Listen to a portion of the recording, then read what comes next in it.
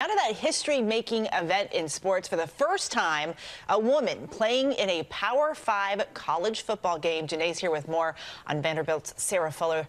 Good morning to you, Janae. Eva, these are the kind of girl power stories we love. Last weekend, Sarah Fuller wasn't even on Vandy's football team. She was on the school's championship winning soccer team, but she got the call this week going from goalkeeper to place kicker with yesterday's history making moment.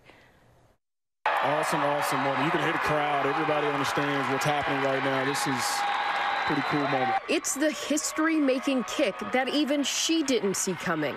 It used to be like an insult, insult like, oh, you play like a girl. Like, no, you play like a girl. That is awesome. Then I want it to be that way. Vanderbilt University, Sarah Fuller opening up the second half, becoming the first woman ever to play in any of the top five college football conferences. Honestly, it's just so exciting. And the fact that I can represent like the little girls out there who wanted to do this or, you know, thought about playing football or any sport, really. After several players were forced to quarantine on the university's football team, they received a helping hand from their women's soccer team's top senior goalkeeper just days after winning the SEC soccer championship. When we we start reaching these goals and like accomplishing these things that we didn't think were possible is because you just put that little bit of extra effort in because things were just a little bit harder breaking barriers and making a statement that female athletes should always be proud to play like a girl. Whatever you're passionate about, do it 100%. Do not let anyone tell you you can't do it because you can if you set your mind to it.